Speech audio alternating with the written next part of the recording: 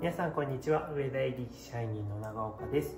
本日はこちら10月18日金曜日より上映の石があるを紹介します。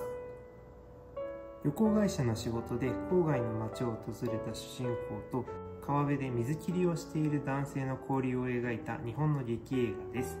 本作の大塚達成監督が友人との旅行で石拾いをした実体験をもとに意味や目的から離れて社会から一旦抜け出す様を描いた現代のバカンス映画となっています。10月19日土曜日には本作の太田達成監督と主演の小川杏さんにお越しいただき舞台挨拶も予定しております。詳しくは当館ホームページをご確認ください。皆様のご来場お待ちしております。